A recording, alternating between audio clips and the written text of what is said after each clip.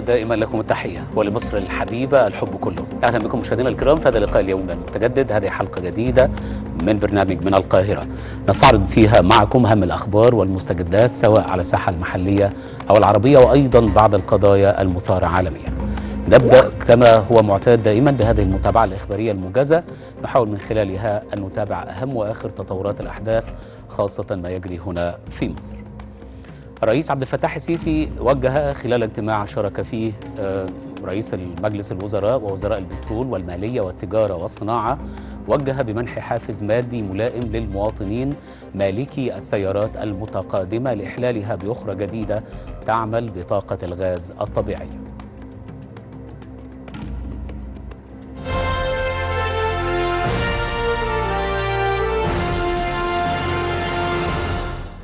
استقبل السيد الرئيس عبد الفتاح السيسي الفريق أول محمد زكي القائد العام للقوات المسلحة وزير الدفاع والإنتاج الحربي.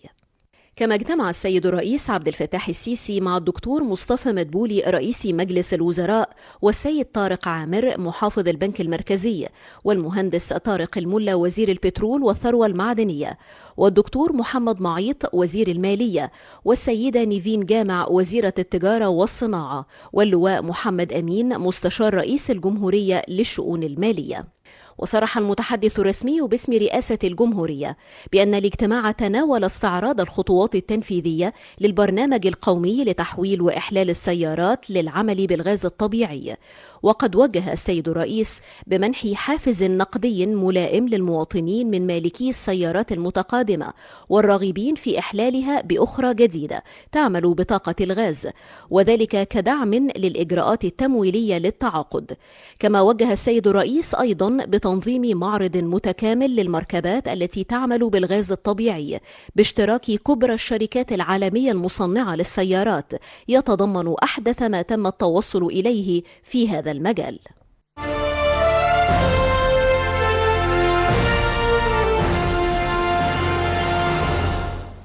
نبقى في القاهرة وخلال احتفال هيئة الرقابة الإدارية باليوم العالمي لمكافحة الفساد أبدى لفيف من المسؤولين أهمية التصدي لظاهرة الفساد. في هذا السياق أكد الدكتور غادة والي وكيل أمين عام منظمة الأمم المتحدة لمكافحة الجريمة والمخدرات أكدت أن الفساد جريمة عابرة للحدود. في 2003 الأمم المتحدة قررت أن تحتفل كل عام دول العالم كلها بهذا اليوم بهدف التعريف بمخاطر الفساد وأهمية مكافحة الفساد والوقاية من الفساد باعتبار أن الفساد أحد مهددات التنمية الفساد بيسرق حق الشعوب في التنمية بيؤدي إلى انعدام العدالة وبيؤدي إلى الإحباط وبيؤدي إلى هروب الموارد المالية اللي المفروض تخصص للتنمية. الحقيقة الاحتفال هذا العام يمكن أهم من كل الأعوام السابقة لأن إحنا بنحتفل في ظل وباء كبير أثر على الموارد الاقتصادية وأدى إلى أكبر أزمة اقتصادية شهدها العالم في هذا القرن. وبالتالي الفساد لابد من مواجهته ولا يمكن لدولة واحدة أو مؤسسة واحدة أنها تواجهه ولكن لابد من تعاون دولي لأن الفساد جريمة عابرة للحدود. استراتيجية مكافحة الفساد زي ما حضرتك اتفضلت اللي تم إطلاقها والرقابة الإدارية بتنسق لها يعني مصر قامت فيها بإنجازات كبيرة جدا. الجزء الخاص بكفاءة المؤسسات ده محور رئيسي في استراتيجية مصر 2030 وفي خطة الدولة. إحنا النهاردة بنتكلم على كفاءة مؤسسات لأنه في الآخر هدفنا تقديم خدمة أفضل للمواطن. زي ما حضرتك اتفضلت إنه المؤسسات الضعيفة هي اللي بتبقى مؤسسات بيقدر الفساد إن هو يتغلغل فيها. وده كان بيتطلب يعني أكتر من إجراء. الحاجة الأول إعادة هيكلة مؤسسات الدولة. فإحنا النهارده بننشئ وحدات جديدة داخل مؤسسات الدولة مش بس تغيير المفهوم وتغيير المسمى ولكن تغيير في الثقافة وتغيير في الفكر بعناصر متميزة بتدريب النهارده على أعلى مستوى سواء كان وحدات جديدة للمراجعة الداخلية والتدقيق وحدات للموارد البشرية وحدات استراتيجية ومتابعة وتقييم كل هذه الوحدات وتغيير الهيكل التنظيمي كان شيء مهم جدا. مكافحة الفساد والحوكمة الأداء من أهم ثمار التحول الرقمي ومن أهم أهداف بناء مجتمع رقمي أو بناء مصر الرقمية التي نستهدفها.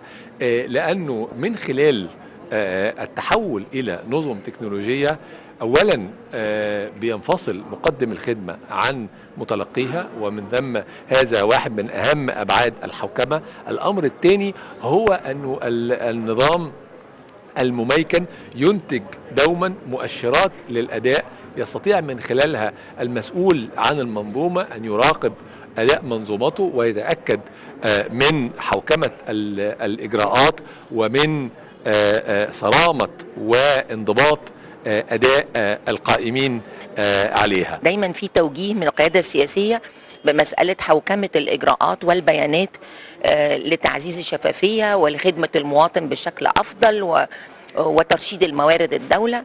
يمكن لدى وزارة التضامن الاجتماعي أكثر من ملف يمس مباشرة مصالح المواطن خاصة بشأن زيادة أو توزيع المزايا والموارد. وتوزيع الدعم وملف الجمعيات الأهلية فكلها ملفات بتمس المواطن يمكن كمان لديها موارد زادت في الفترة الأخيرة تضاعفت بأكثر من حوالي 300 في المية هدفا للوصول إلى المواطن وهدفا لتحقيق العدالة الاجتماعية. جامعة مجتمع من ثلاثة أضلاع يعني زي المثلث مش طلاب فقط ففي هناك إداريين وأعضاء التدريس والحقيقة اللي هقوله ده ينطبق عليهم كلهم بس الشباب فيه حتة تميز. فكرة إن إحنا شغالين على التوعية بأهمية ده ودور كل واحد وإزاي يبدأ بنفسه والأهم إن إحنا بنحاول نبرز ونفهمهم إيه الجهود اللي الدولة بتعملها حيال ده إيه الاستراتيجيات اللي هي الحقيقة مهنية جدا وموضوعة بدقة وعناية مش شغل عشوائي والحقيقة أول رد فعل بيبقى انبهار لأنه هم ما بيبقوش عارفين المعلومة وأول ما بيعرفوا إيه اللي الدولة بتعمله إيه الحاجات اللي اتحققت عشان هم مش لامسينها بشكل مباشر مش في مجال حياتهم ولا عملهم بيبدأوا ينبهروا بتبدأ تصحى عندهم حتة علاقتهم بالدولة وحبهم وإحساسهم بيها. ده اللي أنا بحب أشتغل عليه بقى إن أنا أعلي قيمة الانتماء والولاء للوطن. أنا شايفة إن دي أهم حاجة وأكبر رسالة بنحاول نعملها في الجامعة. نفس الانطباع بيبقى عند الإداريين وأعضاء هيئة التدريس برضه. لما بنشرح لهم وبيشوفوا الدولة بتقوم بده إزاي وبتعمل إيه بس الأهم دورهم فيه إيه لأنهم ليهم دور. هم مش أكتر من طرف ينتظر نتائج. النتائج لن تتأتى إلا لو عملوا كمان الدور اللي عليهم كل في مكانه يعني. الناس كلها فاكرة إن جرائم الفساد هي الرشوة والاختلاس وغسل الأموال بس الموضوع أكبر من كده بكتير. إن أنت يبقى ليك الحق إن أنت ما تتميزش عن شخص تاني ده جزء من مكافحة الفساد وجزء من حقوق الإنسان. إن أنت تبقى عايز تتعامل معاملة فير أو معاملة عادلة من الجهات الحكومية ده برضو جزء من حقوقك وجزء من مكافحة الفساد. فهم مش منفصلين بالعكس هم مرتبطين ببعض. زيارة مهمة وتاريخية لفرنسا قام بها الرئيس عبد الفتاح السيسي استغرقت ثلاثة أيام حيث يمكن اعتبار هذه الزيارة بأنها واحدة من أهم زيارات في العلاقات بين الدولتين. حيث تعددت وتنوعت اللقاءات رفيعة المستوى التي عقدها السيسي مع القادة الفرنسيين وعلى رأسهم لقاء القمة الذي جمعه مع ماكرون. فضلا عن الاجتماعات التي تمت مع كل من رئيس الوزراء ووزير الخارجية ووزيرة الدفاع ورئيس مجلس الشيوخ ورجال الأعمال الفرنسيين. كما أن الزيارة جاءت في توقيت شديد الأهمية في ضوء تصاعد المخاطر والتهديدات في منطقة الشرق الأوسط.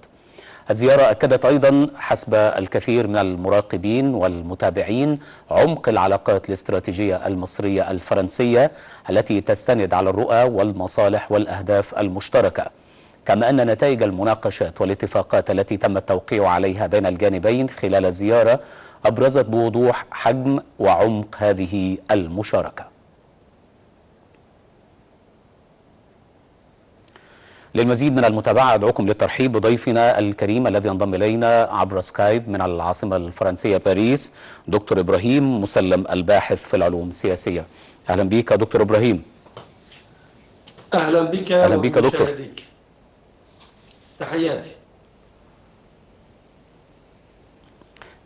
برأيك يا دكتور إبراهيم إذا كنت تسمعني بشكل جيد أهمية هذه الزيارة في ظل ما أشرت إليه في هذه التقدمة من مجمل التحديات التي ربما تفرض نفسها على المنطقة. أهم النقاط الإيجابية أو الأهمية التي تمثلها هذه الزيارة حسب رأيك. نعم زيارة مهمة جدا وخاصة في الوقت يفتقر العالم إلى الزيارات بحضور شخصي. يعني كلنا يعرف أغلب الاجتماعات الدولية حتى اجتماعات الأمم المتحدة تتم عبر وسائل التواصل وفيديو كونفرنس. أهمية هذه الزيارة استدعت دعوة السيد رئيس الجمهورية الفرنسية سيد ماكرون للسيد رئيس جمهورية مصر العربية للقدوم إلى هنا واستمرت الزيارة لمدة ثلاثة أيام وتناولت أغلب المواضيع وتكمن أهمية الزيارة توقيت الزيارة سبق عقد الاجتماع الذي عقد اليوم وهناك جملة من القرارات سوف يتخذها اجتماع الاتحاد الأوروبي فيما يخص تهديد تهديد التركي للاتحاد الأوروبي وفي شرق المتوسط وأيضا موضوع ليبيا وأيضا تأتي أهمية الزيارة. كلنا يعرف تركيا كانت تحاول أن تمثل العالمين الإسلامي والعربي أيضا. لكن زيارة رئيس جمهورية مصر العربية إلى فرنسا تدل على على أهمية مصر ومكانة مصر. في الشرق الأوسط وفي أفريقيا. ففرنسا تدرك جيدا أهمية مصر ولا ننسى تحدثنا عن توقيت الزيارة في الآونة الأخيرة تعرضت فرنسا لحملة من خطاب الكراهية تجاه فرنسا وتشويه سمعة فرنسا فيما يتعلق بموضوع الإرهاب. وأيضا لا ننسى بأن مصر أيضا هي من أكثر الدول العربية التي عانت من الإرهاب ووقفت في الوجه الإرهاب المتمثل بالتنظيمات الإسلامية المتطرفة وعلى رأسها الأخوان المسلمين. أيضا العلاقات الاقتصادية القوية التي تجمع بين فرنسا ومصر. كلنا يعرف مصر دولة في الآونة الأخيرة هناك تنامي اقتصادي واضح سواء على مستوى البلدان العالم العربي وعلى مستوى أفريقيا والشرق الأوسط. كل هذه الأمور تجعلنا أن نقول بأنها زيارة مهمة وقد تلاقى يعني كان هناك صدى لهذه الزيارة وحتى أسلوب استقبال الرئاسة الفرنسية للرئيس سيسي كان هناك وضع خاص وكان ورأينا رد فعل من الرئيس التركي أردوغان وحتى من مستشاريه انتقدوا كيف وحتى قالوا لماذا كل هذا التبجيل لرئيس مصر للسيد السيسي نعم. إذا كان لك أن تطلعنا دكتور إبراهيم عن يعني وسائل الإعلام الفرنسية كيف تبعت هذه الزيارة أو ردة فعل الجانب الفرنسي على هذه الزيارة وما أشرت إليه من مجمل هذه القضايا خاصة بعض التحديات التي ربما تواجه فرنسا في التوقيت الحالي. نعلم تماما أنه ربما كان هناك لقاءات صحفية للرئيس السيسي أعتقد لو فيجارو أجرت حوار مع الرئيس السيسي وسائل الإعلام والحالة المزاجية للشارع الفرنسي تجاه هذه الزيارة. في الحقيقة هناك ارتياح وخاصة فرنسا مؤخرا شهدت تصعيد لجماعات إرهابية يعني وبحسب وسائل الإعلام وبحسب نتائج التحقيقات التي تبينت هناك جماعات إسلامية في فرنسا مدعومة من تركيا وقد أصدرت فرنسا مؤخرا بعض القوانين لكي تحد من الجماعات المتطرفة وقد أوضحوا ذلك من خلال رئيس الحكومة وأيضا رئيس فرنسا سيد إيمانويل ماكرون. وبينوا بأن هذه القرارات التي اتخذت مؤخرا هي لا تستهدف الإسلام. يعني هم يستهدفون الجماعات المتطرفة سواء كانت ولا تستهدف أي دين على الإطلاق. وزيارة يعني كلنا يعرف مصر تعتبر يعني منبر من منابر الإسلام في الشرق الأوسط وفي العالم العربي. فهذا زيارته أعطى ارتياح آه، الفرنسيين بشكل خاص و آه، آه، وليس فقط مسلمي فرنسا عن عمق العلاقات الإسلامية الفرنسية فالعلاقات الفرنسية الإسلامية ليست مقتصرة فقط على المسلمين الموجودين في فرنسا. و- وأيضا آه، آه، آه، زيارته آه، أوضحت لي ال- الشارع الفرنسي آه،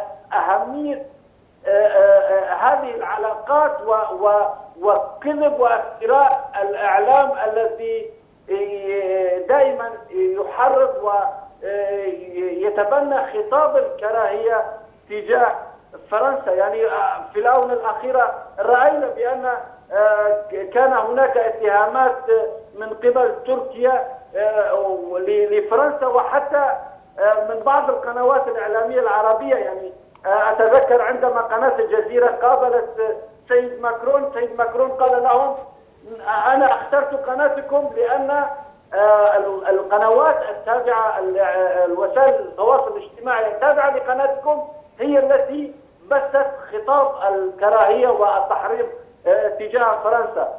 آه، ف- وزيارة السيد السيسي إلى فرنسا أعطت نوع من الاستقرار للشارع الفرنسي آه، نعم. آه، وأيضا آه، آه، زيارته آه، آه، في توقيت قبل انعقاد قمة الاتحاد الأوروبي يدل على أهمية آه، مصر في العالم العربي لكي يتخذ قرار نيابة عن العرب ككل وأيضا هناك ملفات كثيرة تم مناقشتها ملف الليبي الدور المصري آه، المعتدل في ليبيا وأيضا عظيم. آه، دورها في تمام. الشرق المتوسط نعم آه، حضرتك تفضلت منذ قليل وأوضحت إنه أحد ملامح هذه الزيارة هو دعم من من مصر ممثل في شخص رئيس الجمهورية لفرنسا في هذه المرحلة خاصة على هامش قضية الرسوم المسيئة للإسلام.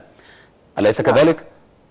نعم في المقابل إلى أي مدى يمكن أن تدعم فرنسا مصر في بعض الملفات التي ربما تمثل تحديا لها في الفترة الراهنة؟ وربما أيضا تمت مناقشتها على أجندة المباحثات ما بين الرئيس السيسي والرئيس ماكرون. في الحقيقة يعني كلنا يعرف ال- ال- العالم العربي شهد آه، يعني في آه، في 2000 نهاية 2010 و2011 الربيع العربي الثورات العربية آه، آه، نهضت من آه، أزمة. يعني آه، يمكننا أن نقول آه، ولا ننسى يعني خاصة آه، الوضع المصري. الإخوان المسلمين استغلوا الثورة في مصر واستولوا على الحكم ومن ثم آه، آه، ال- الأحرار المصريين آه، آه، استطاعوا عودة مصر إلى إلى مكانتها يعني كدولة معتدلة وليست كدولة آه، إخوانية. آه، مصر في وضع متنامي وكلنا يعرف هناك الكثير من أعداء لمصر وخاصة آه، موضوع ال- الإسلام المتشدد واتهام مصر بالعلمانية ونرى يعني الإرهاب متربص في مصر. وناهيك عن نقطة أخرى التهديد التركي الواضح لمصر. السياسة الحكيمة للقيادة المصرية جعلتها أن تضع يدها بيضع الدول الأوروبية وتواجه تركيا. مصر كان منذ البداية كان بإمكانها أن تدخل ليبيا وأن آه، تواجه تركيا في شرق المتوسط. لا هي لم تفعل كذلك. هي آه، آه، مدت جسور الثقة بينها وبين العالم الأوروبي. نعم. و و ودليل على ذلك الآن المناورات العسكرية هي مشتركة بين قبرص ولكن- ويونان وفرنسا ومصر. أي مصر ليست بمفردها تواجه الخطر التركي. ولكن آه، آه، دكتور إبراهيم يعني ربما لما سألت حضرتك السؤال ربما كنت ألمح لملف سد النهضة. لأنه الرئيس عبد الفتاح السيسي أشار أنه تم مناقشته مع الرئيس ماكرون وهذا واحد من الملفات التي تمثل تحديا حقيقيا آه، في الفترة الحالية بالنسبة لمصر. ما كنت أريد الوصول إليه إلى أي مدى من الممكن أن تكون فرنسا مؤثرة في هذا الملف؟ آه، نعم آه، ملف سد النهضة أيضا تم مناقشته وتم الاتفاق على أن يكون هناك حقوق الثلاث الدول يعني بشكل متساوي. يعني موضوع الأنهار الدولية يعني بحسب القانون الدولي. هذه الأنهار ملك لكل الشعوب التي تعيش في تلك المنطقة يجب أن لا تستغل من دولة على حساب دولة أخرى. وفرنسا أبدت دعمها للموقف المصري و وهي تدرك جيدا بأن مصر لا تفكر فقط بالشعب المصري. فالقيادة المصرية تفكر بشعوب دول الجوار أيضا ولذلك المباحثات كانت حول أن تكون توزيع الموارد المائية بشكل معتدل على نعم. الدول الثلاث التي يمر بها نهر النيل. نعم أشكرك. شكرا جزيلا دكتور إبراهيم مسلم الباحث في العلوم السياسية. كنت معنا عبر سكايب من العاصمة الفرنسية باريس. من باريس نعود مجددا إلى القاهرة حيث أكد حسين زين رئيس الهيئة الوطنية للإعلام خلال مشاركته باحتفالية مؤسسة الأهرام في إطار مبادرة مصر أولا لا للتعصب أن القائمين بتغطية الفعاليات الرياضية المختلفة بالهيئة ملتزمون بالضوابط والمعايير المهنية التي تحقق التوازن والحيادية وتتجنب جميع أشكال التعصب.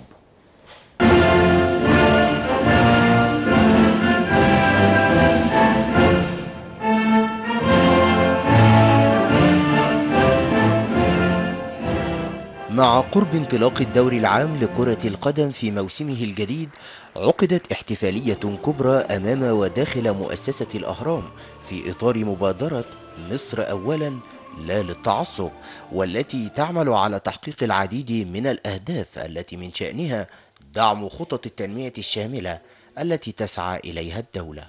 حماية مؤسساتنا ده موجود ولما بنحل موضوع معين. إحنا رايحين للدولة المصرية ومش هنضر أي مؤسسة في صالح الدولة المصرية في صالح الجهد الكبير اللي بيتعمل. وأكيد هنبذل كل جهد وبنقول إحنا مفيش تعصب الوسط الرياضي لازم يرجع زي زمان بالشكل الجيد وده دورنا كلنا مع بعض. محدش بيلغي الروح لكل فريق من الفرق أو الأشخاص اللي أنت تشجع. محدش قال لك ما تعملش ده. بالعكس اعمل كل حدودك في حدود حريتك. لكن ما تدخلش على حريات الآخرين. وده تملي التوجيه أو الوعي اللي نفسنا كل الأجيال سواء الأجيال اللي طالعة جديد أو الأجيال اللي موجودة أو اللي في سننا حتى. إحنا كلنا كنا بنشجع لكن عمرنا ما شفنا في حالات اللي تبقى فيها تنمر وفيها تعصب بتوصل لحدود الإرهاب. الحضور في الاحتفالية أكدوا أن هذه المبادرة بفعالياتها المختلفة تعمل على نبذ التعصب والانحياز وبداية مرحلة جديدة قوامها التعاون. أنا متأكد إن في الآخر هنقدر نوصل للهدف اللي إحنا عايزينه لأن ده كلما زاد الوعي كلما قل التعصب وقل الجهل. شجع كما تشاء.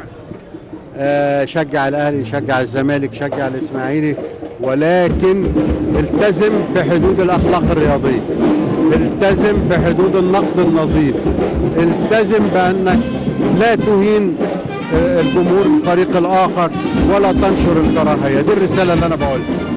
هذا وقد أشار الدكتور أشرف صبحي وزير الشباب والرياضة إلى أن الوزارة تعمل على قدم وساق لتحقيق طفرة فريدة من نوعها داخل القطاع الرياضي المصري. شعب عشق الرياضة منذ نعومة أظافره. تستعد مؤسسات دولته لبداية موسم كروي جديد آملة في أن يتخلص مشجعو الفرق الرياضية من أي مشاحنات فيما بينهم وأن يتحلوا بشعار مصر أولا لا للتعصب بكافة أشكاله وألوانه. عمرو عبد العزيز النيل بهذا التقرير ننهي هذه الجولة الإخبارية الموجزة ونتحول بكم الآن لأولى ملفاتنا. نتحدث عن هذا الضيف الذي فرض نفسه على المتابعات الإخبارية على امتداد أكثر من عام. نتحدث عن ملف جائحة كورونا. في الفترة الأخيرة بدأت تلوح في الأفق بوادر انفراجة مع الحديث عن لقاحات جديدة. فمع بدء إنتاجها عالميا بدأ السؤال يطرح نفسه. هل تنجح هذه اللقاحات الجديدة في مواجهة آه، فيروس كورونا أم ربما آه، لا توفق هذه اللقاحات لأنه حسب رأي الكثير من الخبراء والأطباء في هذا المجال آه، اللقاحات الجديدة بحاجة إلى فترة زمنية للتأكد من فعاليتها. نتابع هذا التقرير وبعده نبدأ أولى فقراتنا الحوارية حول هذا الموضوع.